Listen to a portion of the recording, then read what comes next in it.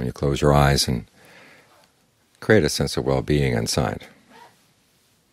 You think of the Buddha, the Dharma, and the Sangha.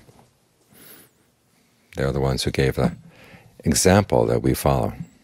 They said this is the way true happiness is found, by training the mind. The world tells us that true happiness is found by getting this and getting that. But you can get a lot of stuff and still be miserable. The important thing is that the mind be content, that the mind have a sense of well-being, of its own goodness. That's why they said that the, the way to true happiness starts with generosity and virtue and meditation because you train the mind. Otherwise, it's a victim of its greed, aversion, and delusion. There was a time once when the Buddha was sleeping out in the forest. It was a cold part of the year. And the next morning, a young man came and asked him, "Did you sleep well last night?" And the Buddha said, "Yes, slept very well."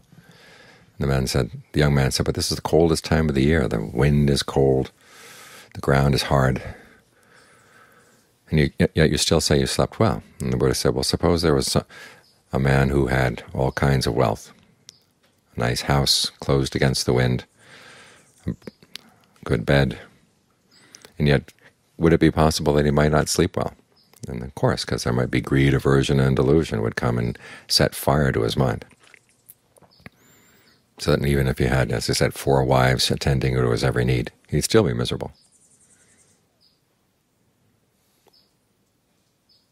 But the Buddha was, has said that greed, aversion, and delusion doesn't exist in him, and therefore he can sleep anywhere and sleep at ease.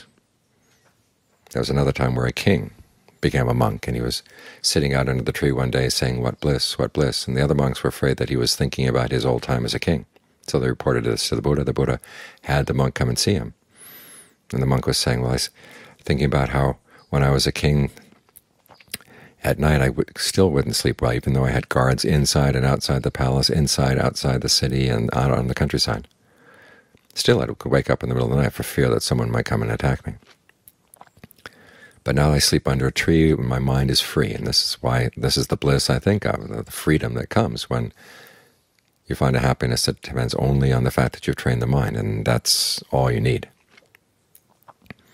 So these are the examples we follow. These examples that get shed light on our lives so they realize, okay, true happiness is, comes from training the mind. So when the body gets old, okay, you still got your trained mind. Even when your memory goes, at least the habits you've developed as you've trained your mind, they're still with you. And that's where true happiness can be found.